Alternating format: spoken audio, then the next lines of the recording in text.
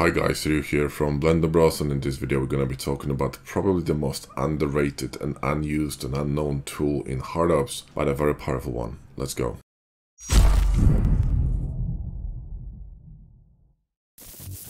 So let's grab a cube and uh, I'm gonna drop it in here. By the way, if you don't use hard HardOps, we have tons of videos on hard HardOps and also a course on hard HardOps, Ultimate Guide to hard HardOps and box cutter. And the link to hard HardOps and box cutter bundle is in the video description, so go ahead and check it out. It's a fantastic add-on and we swear by it. Now, uh, let me just grab this cube here and I'm going to cut it with box cutter like this, okay? I'm gonna press X three times and I'm gonna press T for solidification to create inset boolean, which in vanilla Blender will make you wanna kill yourself so let's assume I wanted to cut this face further.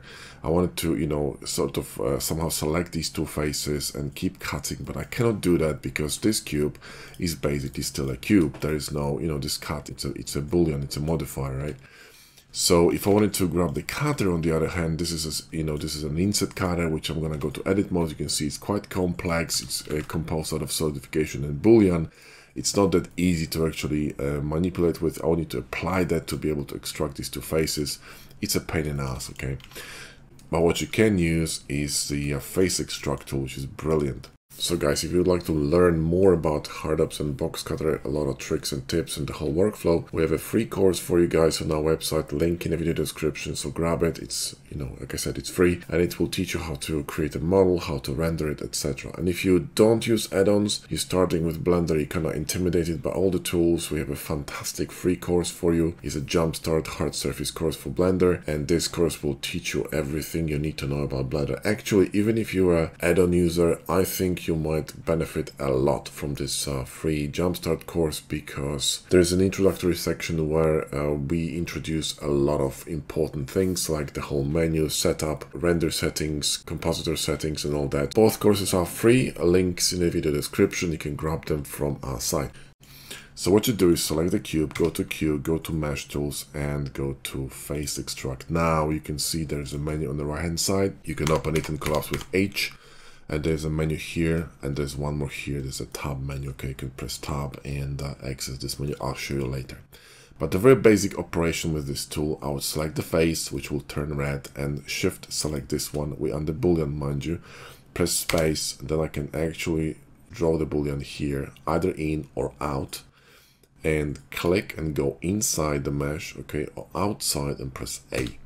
And i can do something like that which is pretty cool right? Now if i'm gonna go to edit mode i can keep editing these. So i could actually grab for example this edge control b and scroll it and create you know a bevel like that. Another thing you can do with this tool is cutting sort of a piece of a mesh.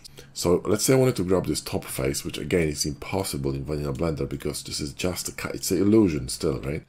I want to grab this face and insert it a little bit lower. I can do that with face extract. Now watch this I'm gonna click here, go to Q, go to Mesh, Face Extract, click that face on the top, press space, right? And then instead of going inside, I'm gonna go outside and click and literally lower this cutter down.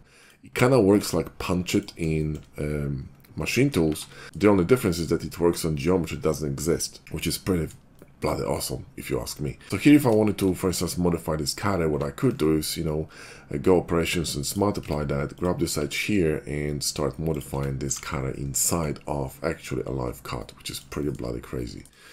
So this will be one of the usages of this tool. Another one would be, you know, solidification. So let's go back here, okay, a little bit. And let's say I wanted to extract this face here and solidify it outside.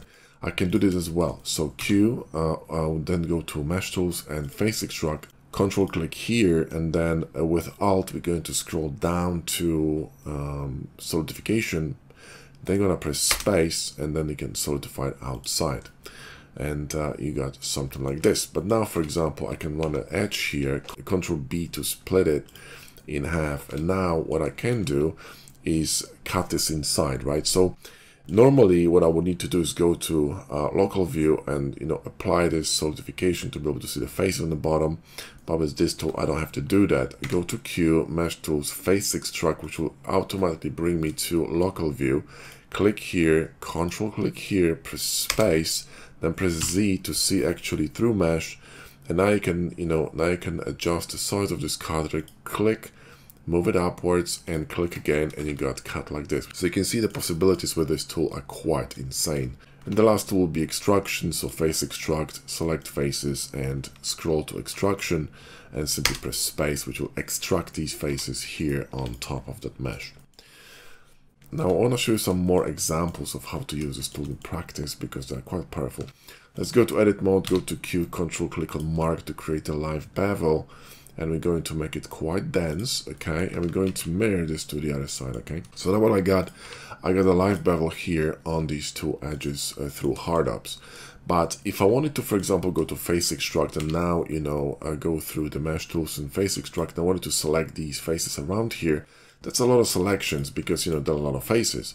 But what you can do, you can press W to remove the last bevel from the equation. Now all you need to do is select just these faces, press uh, space and then scale it, click and, you know, and you, you're good to go. Now if you want to bevel this cutter, you can always go to uh, edge mode here, press Q, control click on mark and you can bevel that and you got a live bevel on that cutter which is you know again a live cutter Another one would be decimation. So let's say um, I'm going to grab another cube, right? And I'm going to move it in here and I'm going to do, subdivide this cube. So right click, subdivide, shift R a few times. Now, if I'm going to go to um, mesh tools and, you know, the face extract, you will see that uh, to be able to select this entire face, I'm going to spend two hours selecting all these, you know, rectangles.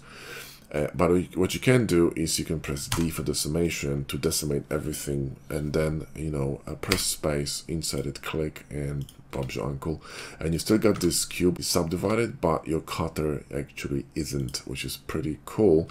And this is fantastic because it will not add another geo on top of your mesh. Because let me show you, if I wanted to extract this face here from the top, let me just very quickly add um, seams. So it's gonna be easier to select that seams and I'm to recalculate sharpen by control shift clicking on sharpen which will add seams to my edges here around so I can hover over my mesh press L and select this face within the seam and then if I wanted to you know let's say extract it so I'm gonna shift click on curve extract and scale it in and then I'm gonna boolean then so difference you'll see that my cutter will actually if I'm gonna apply this will actually enforce geometry onto that mesh which is not something that I want to do.